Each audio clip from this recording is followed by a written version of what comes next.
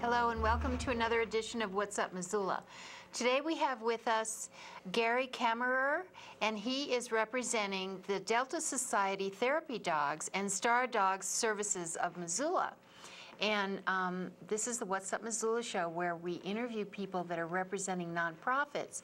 This is a very important nonprofit um, in Missoula. And what we do here with therapy dogs is um, we have somebody who trains them. That's what he does. And Gary is going to explain to us how a dog is trained and how your dog may qualify to be trained. Gary, let's talk a little about these therapy dogs and what the Delta Society is all about. Delta Society is an organization in Seattle, Washington that started back in the late 1970s. And it's an organization that tries to set standards for therapy dogs, uh, set standards for them, a criteria which all the dogs must meet in order to be certified by them to do so. They also are getting into service dog activities, but uh, I'm mainly involved with therapy dogs. And uh, they started this organization. They have uh, I am also an evaluator for Delta Society here in the Missoula area. About three, four times a year, we have evaluations mm-hmm. in which people bring their dogs in, go through a series of exercises, and then if they pass the exercises, they can qualify to be a Delta therapy dog. Pet partners. Pet partners Pet is what partners. they're called. Yes, yes. Now you brought a doggy with you, and this is Jeb, and he's so well behaved and he is a therapy dog. Yes, he is. He's a 10-year-old border collie.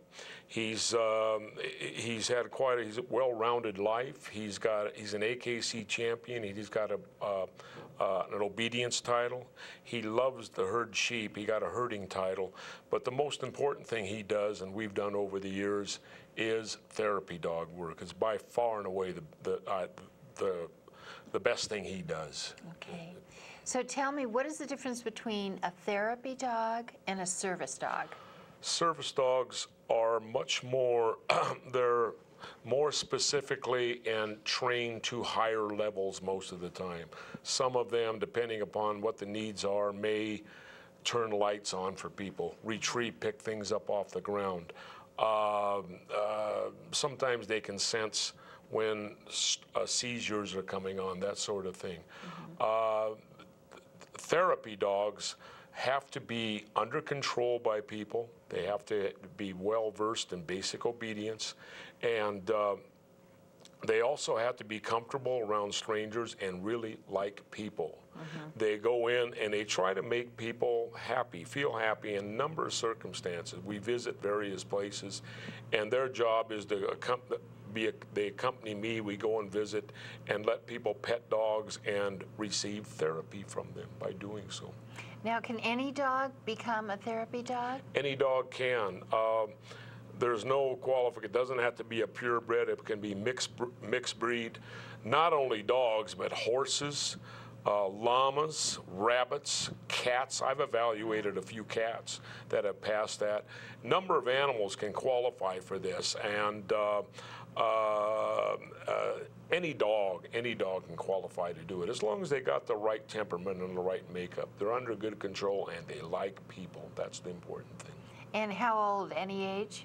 Any age. They must be at least a year of age mm-hmm. in order to be cert- or evaluated. Sometimes I've worked with people who have younger dogs even from the puppy stage, to try to give them ideas on what they can do with their puppies in order to kind of groom them for therapy dog work, getting them well socialized, basic obedience training, that sort of thing. So uh, they have to be a year old to get evaluated, but you can start working with them at a younger age. And so you offer the obedience training also as part of the Star Dogs. I do that, and I uh, I have worked individually with people on this. I also run group obedience classes in the Missoula area and down in the Bitterroot. And I tell people if you want your dog to be uh, certified as a therapy dog with Delta Society, they have to have a basic understanding of obedience. It's very important. We mm-hmm. evaluate that, and the dog must be under control by their handlers. Very, very important. So, is the therapy dog training different than the obedience training? Um, the different you, you have basic obedience and therapy dog training too, but as far as the training is concerned, getting the dog well socialized, getting them to encounter strangers and different people in different settings and situations is very, very important. Can they take this dog down to a park or downtown and people walk up to pet it? Is the dog comfortable with that? Do they seem to enjoy that? Do they inspire confidence in the people that approach them that, hey, look at that nice dog. I think I'd like to pet that dog and that sort of thing. So that's involved too. And it's not real structured training, just getting the dog out and getting them around people, maybe older people, younger people, people in wheelchairs if at all possible, that sort of thing, acclimating them towards that sort of uh, uh, ability to do that thing is very, very important. So now, um, is this the situation where, you know, you might see someone in a grocery store and the dog has some kind of a vest on that says, is that a service dog training and ther- therapy dog training? Um, as far as vests on the dogs are concerned, service dogs can wear these vests, oftentimes do, and therapy dogs, there's vests available for them too. Now, one of the important things to understand about the difference between service dogs and therapy dogs is that, and Delta Society is very adamant about this, therapy dogs are let's start with service dogs. Service dogs under the law are, can accompany their handler anywhere they go. Restaurants stores mm-hmm. just airplanes just about everywhere. They they are allowed to accompany them under the law therapy dogs do not have this right we can't just walk into hey i got a therapy dog here you got to let me in a grocery store delta is adamant about that that therapy dogs are not service dogs in that respect so yeah, they can both wear a vest, but they have different qualifications on where they can go and what they can do. So, um, is this a situation where, uh, have you ever seen one start misbehaving for some reason? Or, I know you said something about insurance. What's the insurance for? Okay, one of the advantages for uh, as far as becoming a therapy dog is concerned is that if you pass the evaluation for Delta Society, you pass that evaluation, uh, you are covered up to a million dollars for liability reasons with the dog. You visit somewhere, you're visiting with the dog, somebody trips over the dog, breaks a leg or something like that, there's liability coverage on that. There are certain qualifications for that, but, but they're available. Um, uh, so that's an important thing to understand. They have this liability insurance coverage. As far as seeing any dogs misbehave, um, I never really have or have heard about it. There are some dogs who can have off days. They can have bad days. They just aren't feeling good that day. You might take them to visit, and all of a sudden you notice they're they're not paying attention, or they look like they just aren't comfortable in what they're doing that day dogs, like people, can have bad days, okay? So we have to kind of watch that, and if the dog is acting in that manner, it's good to remove them from the situation and maybe try again another day. Now, you say you have, you told me earlier that you did trainings about three or four times a year. And Oh. so people can call you or email you and you'll tell them when the trainings are. And is that for Okay, the that would- therapy dog training? That's actually evaluations is what I'm Oh, an I'm evaluator. I'm an evaluator, and we do those three to four times a year in Missoula. Mm-hmm. We have been doing them at Community Medical Center for the most part. They've been very nice to us down there. They love our dogs. They welcome us with open arms, and we really enjoy going there. But three or four times a year, I hold evaluations. There are certain guidelines that must be followed for a person to get their dog ready to be evaluated. They contact me. I let them know what the guidelines are, what they've got to do. I've got to receive some information from them ahead of time to kind of do a little screening ahead of time on their dogs. And then they come to Community Medical Center. There's, there's, given a time to be evaluated. They come in. They're tested on what kind of control they have with their dogs. Basic obedience, sit down, stay and come, walking the dog on the leash. Are they walking the dog or, or is the dog walking them? We look out for that sort of thing. Uh, how they react interacting with a, another dog. Another dog is brought into the room. If they get all barky and excited and out of control on that, we can't qualify them for that. They got to be under control. They can be interested in, you know and curious about it, but they got to be under control. That's the skills part of the test. The next part of the test is called the aptitude part. The dog encounters various scenarios in which people will be on walkers, they'll be um, in wheelchairs, uh, they'll be uh, approached and, and pet a dog uh, or let a person in a walker pet the dog. There'll be yelling and arguments going on the side representing a stressful situation. Can the dog tolerate that? Some dogs are sensitive. They don't like stressful situations. We screen on that. Then there's overall examinations, hugging the dog, clumsily petting the dog, touching, lifting all four feet up off the ground one at a time. That's a being handled. It's very important because when you go to visit people, they like to hug dogs. They like to do all kinds of stuff, and it's good to know ahead of time whether the dogs can do these things or not. Uh, the evaluation process takes about 45 minutes, and when it's done, I'd go over with them if they passed or did not pass. Nine out of 10 dogs pass. Usually the people know what they're bringing in. They, you know, they know ahead of time what to do. And then there's certain uh, things they have to do with Delta. They got to do a little prep work. They got to do uh, get a home study manual to read about Delta's policies and understand what the qualifications are for insurance coverage and various other things. And it's very thorough, but I have worked with people over the years that are in other organizations too, besides Delta, and they're fine, fine organizations. But I've had some people tell me that they're aware of these other organizations. They like the standards that Delta sets. They kind of like it. It's, it's the standards may be a little higher in some respects sometimes, but they they they think Delta is a good organization. Usually, the people that show up to be evaluated are they usually people that you've already worked with their dogs? In some cases, yes. I've had people come from Sheridan, Wyoming, Billings, oh. and uh, up in the Flathead area, and, and, that I've never seen before, but I've talked with on the phone. They've come down. Uh, I've had other people that have come out of some of my obedience classes, and they've come from that. I've had some people that have come in. I always need help in those evaluations when I run them. I'll tell people if you're interested possibly in get your dog evaluated why don't you come and help us out? I need helpers. I need bodies in there to help me with. And so they can help out and, and be one of the helpers and see what goes on. Then they can say, yeah, I think my dog's ready. No, I better work on this a little bit too. It's a very good idea for them. So uh, uh, that's always a good thing to do. And other people uh, have, uh, I've done I've worked one-on-one with them privately and put their dog through what I call a mock evaluation. It's not, not official.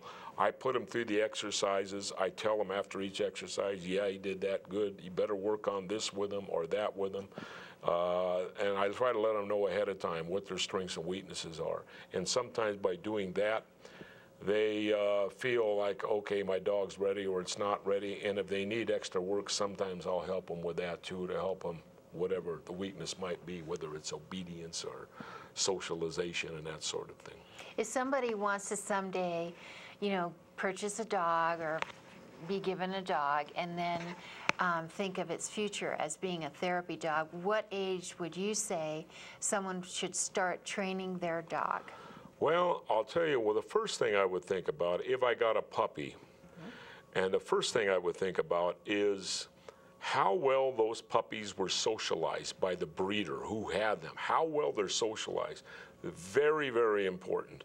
When those dogs, as soon as, even before their eyes open up, some breeders will have uh, have uh, people hold the little puppies and start petting them and talking to them. Then as they grow older, eyes open up, this and that, handled and talked to by lots of people. I had, the breeder I got Jed from lives in the Coeur d'Alene area, and she did that. She had people She's a dog trainer too. Had people petting those dogs all the time. Wonderfully social. He loves people, and that had a lot to do with it. So they can be starting to be trained a couple of days out of the womb, basically on that. And then getting a dog, I think no, I think puppies should be at least seven weeks old before you get a puppy. Uh, any younger than that, sometimes they aren't really totally socialized, ready to leave mom. weaned. Yeah, not weaned and that sort of thing.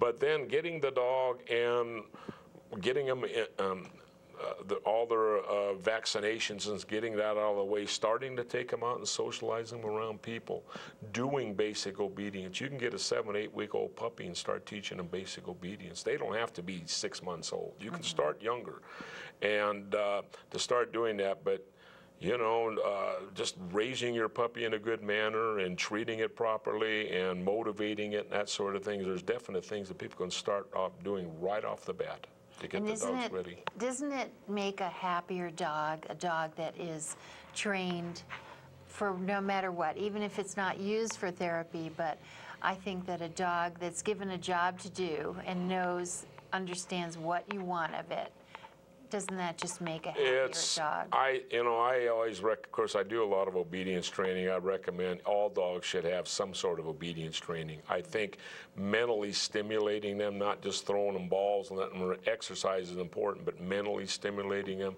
is very, very important.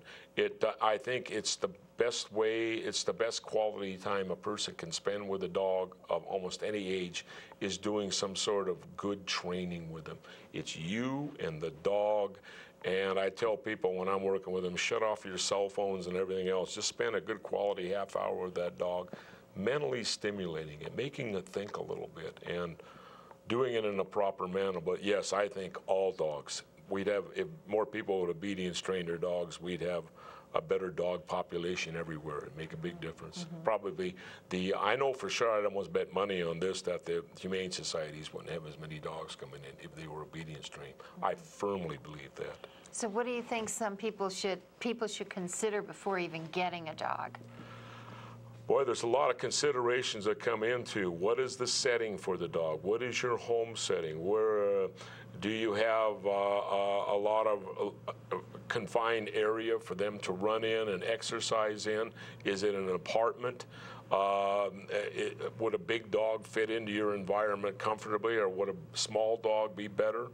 Um, I think going, if you're going to get a dog from a breeder, is to go and call around and find out what you're looking for. Visit the breeders, visit the, the sire and the dam, the mother and the father of the puppies to see if they got good temperament.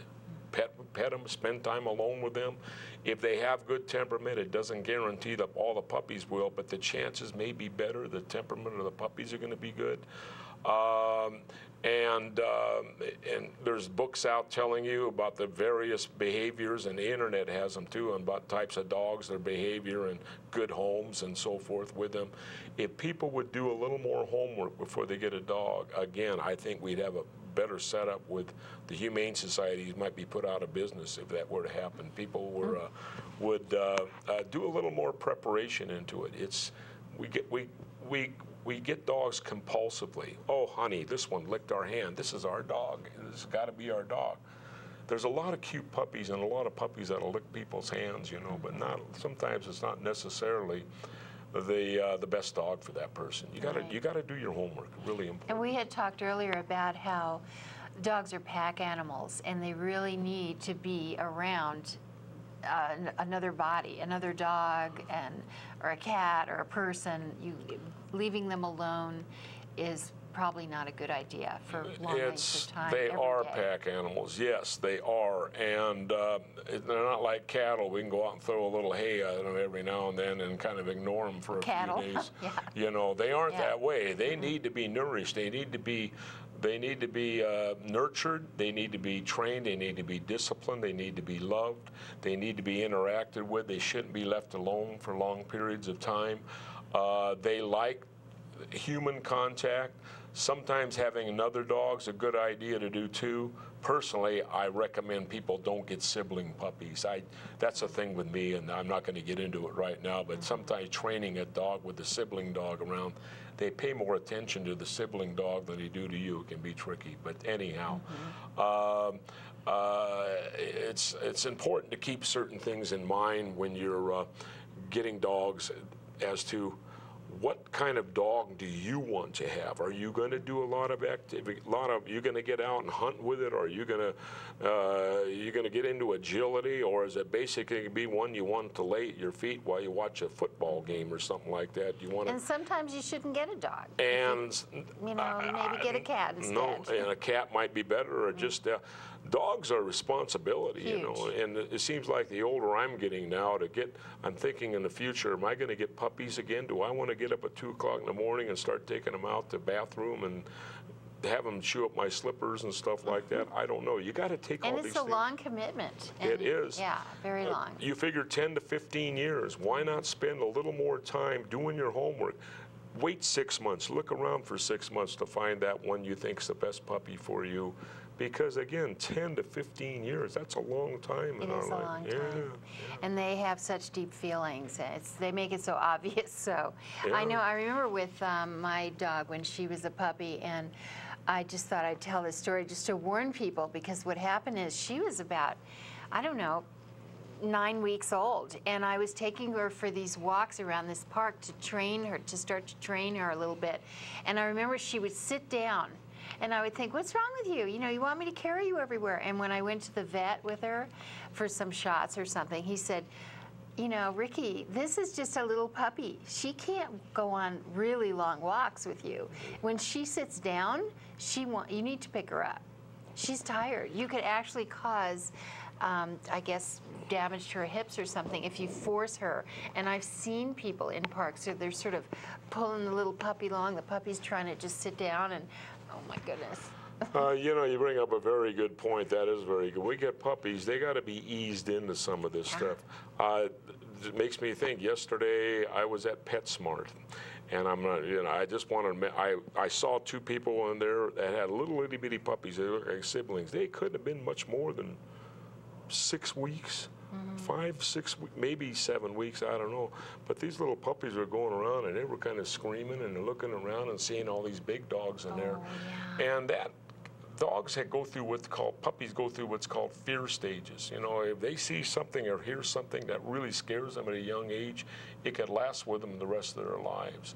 So you want to socialize them, you want to start doing them, but let them slowly but surely gain confidence in those early days, and don't try to do too much too soon with them. I think that's really important. It's a very yeah. good point. Yeah. Well, um, the other thing is that um, I wanted to go into where you visit and where people, if they have a service dog, all the places that they can go in Missoula. Let's talk about that with the dogs. Okay, I've been a pet partner with Jed and one other dog that I had before him, and uh, I had just have another one of my border collies just got recently got certified, and we have been visiting various places over the years. You can basically go anywhere where they'd like to have therapy dogs visit. They can go anywhere. Uh, hospitals, um, uh, schools, uh, hospices, I've been to that, um, nursing homes, uh, anywhere, just about anywhere, as long as you're requested to come. Delta Society points this out very, very carefully in their uh, their manuals and stuff like that about how to how to approach a new facility and what you do, how you let them know what Delta is and that sort of thing. But we've been visiting for 11 years at over 11 years now at Community Medical Center, and it's wonderful, wonderful stories, wonderful visits I've had there over the years. We go a few times a year. The week before final week, we go to um, uh, the University of Montana, and the students are are preparing for finals, studying for finals, and we sit in the UC Center and they come by and pet our dogs. It's one of the highlights of the year for me. I really enjoy that. Kids and that's like it. that's called Stress Less Week. Stress Less Week. Yeah, put on by the Curry Health Center out there. Mm-hmm. And uh, I've gone to schools, I've sat down, I taught school for 20 years. Uh, and I sat down, went to schools and sat down with first graders and read them stories about dogs who became therapy dogs and stuff. Uh, I visited hospice. hospice You always have the dog with you. always have the dog with us. They got to be on leash too when they when they visit with us, and um, and uh, nursing homes. I've gone to that, And uh, it all depends where you want to go. You can go anywhere you that they'll accept you. There's a way you can go anywhere. You don't have to go to certain areas that we visit. You might go to something totally different. Okay. But um, it's very, very gratifying work. The most gratifying work I do with dogs is therapy dog work. If I could only do one thing, that would be it. That's wonderful. Yep. Well, we uh, just have a couple of minutes left, and I thought we should mention also about heat conditions for dogs in cars in the summertime. Today is a very warm day as we're doing this, and um, I, you, you hear stories every year about dogs perishing inside of hot cars. Well, I had the windows cracked a little bit. That doesn't make any difference. Dogs and heat just do not mix. Yeah, because I've well. seen people park like in, under a shade tree, and the windows are up, or one window's down and the other one's up. I mean, Well, that's better in direct sun, but even that, I I don't I, I just. Um, you I- leave your dog home. I know we talked about Yeah, yeah. I, I, for instance, today when I'm done here, I got to run back down to Stevensville. We're going to get in the car. I do have to make one stop, but I told them that I'd bring my dog in with me, and they said, "Okay, bring him on in. I got some business to take care of and do that." But then I'm going to head home. I'm just not going to leave him around. Too dangerous. Mm-hmm. It's really inhumane to do that to a dog. And then I did, I, I hope I have one more minute, and if I do, I just saw, was it this morning? Yes, this morning, a man, I heard this, I heard this man yelling, and I looked around, it was a young man in his backyard, and he um, was yelling at something on the ground, and then I saw him put his arms up and kick, and this dog yelped. And then he just yelled again and just put his arms up like he was just so disgusted with this dog. And wouldn't you say someone like that who can't help but kicking his dog, that maybe he should rethink and turn the dog into someplace and Uh, let someone when else I have hear it? about treatment like that with dogs or any animals, I We only I- have I- like 30 seconds. I really don't know how to respond. Yeah, people like that don't need dogs. They should get rid of the dog. Yeah, they should Take it to a it shelter, away. and the chances are it's a decent dog. That dog's going to find a good home. I've seen it happen a lot of times. Yeah, because if the dog's misbehaving and, and you don't know what to do with it, you know, there's other people that can help the dog. you betcha. Yes. Well, thank you so much, Gary. That was okay. great. Okay. Nice visiting with you. Same here. Good luck to you. Thank you.